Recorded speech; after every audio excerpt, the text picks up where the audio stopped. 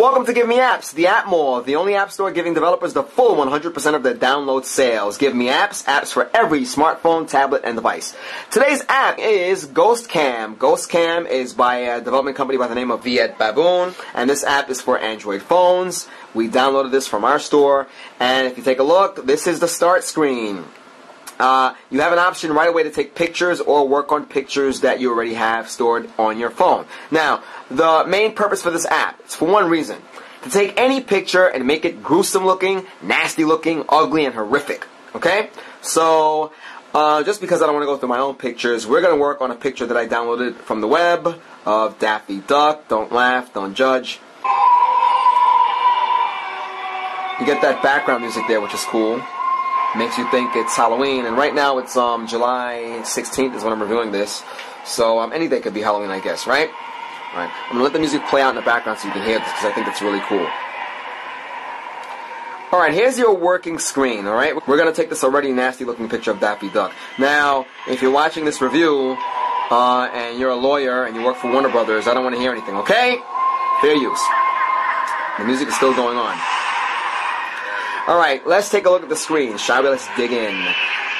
Alright, you can work with ghost. You can put ghostly images on your image if you'd like.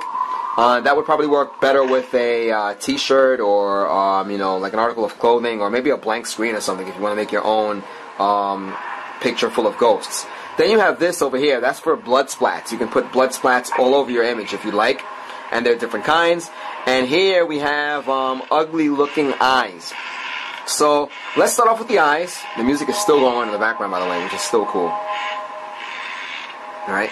When you um get the when you press the eye, you get this uh, group of eyes here. And don't be fooled. This is not all you have. You have more if you scroll over. Take a look at that. Okay. So uh, we're gonna select. Uh, let's select the uh, what looks like the a cat eye. Let's select the cat eyes. All right. If you look at the top of the screen, you see a small, tiny eye up there. You're to have to drag it over, or uh, you can zoom in to make it larger. Look at that. We're to bring it in, and take a look at Daffy Duck's eye now. There it is. Look at that. Now, what's cool is you can uh, you have the opacity control here, the parameter, which can make it blend into the picture more. If you ever use Photoshop, you know what um, opacity does. And um, when you're comfortable with where it is, you commit to it by pressing the check symbol. There we go. Let's get another eye. Let's pick this one here.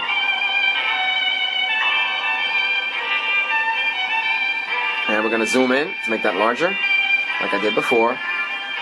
And boom! There's a nasty looking Daffy Duck. And now that we have that there, let's um, mess with the opacity parameter. And now let's commit to that. Alright, now that that's done, um, let's dress it up even more. Let's add some blood splats.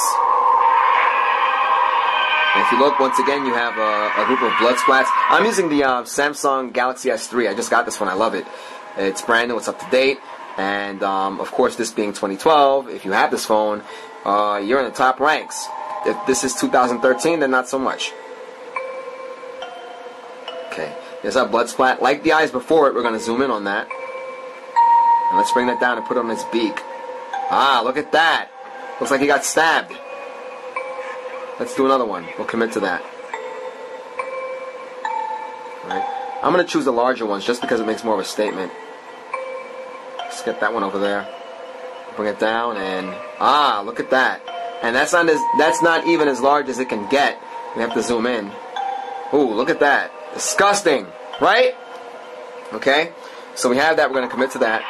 And uh, I'm going to show you some of the ghost pictures, just because you can add like all of these images. Um, maybe we can make it look like one of these ghosts are behind them in this picture. And like any other image, you need to zoom in. Zooming in will give you better control because it's all over the screen. See, look at that. You have this ghost hanging out in his beak. We can uh, make it a bit opaque. Look at that. Cool beans, right? Um, once you commit to that, Changing anything, moving the images around the screen is as simple as um, you know pressing that image and, and dragging it around. So of course you can delete whatever you want by pressing the garbage can. And this is pretty much it. Cool app. It's $1.99. Um, I'd rate it three and a half out of five. I'll tell you why. Um, some improvements. It would be nice if um, these were labeled. If you have no idea what this app is, um, it's hard to figure out like kind of what it does. I mean, sure you can press the buttons and figure it out from there, but it would be nice if it was labeled. Um, also, it would be nice if we had scroll bars here, right? A scroll bar or arrows, so the user knows that there are more of each image. That would be helpful. Other than that, it's a cool app. You're not gonna open garage doors with this app. You're not gonna turn on your microwave with this app. This is simply fun. Okay? So, there you have it. Give me apps. Not only can you download apps, but you can also chat in our online forums and search jobs and check out the latest news in our tech blog. Till next time.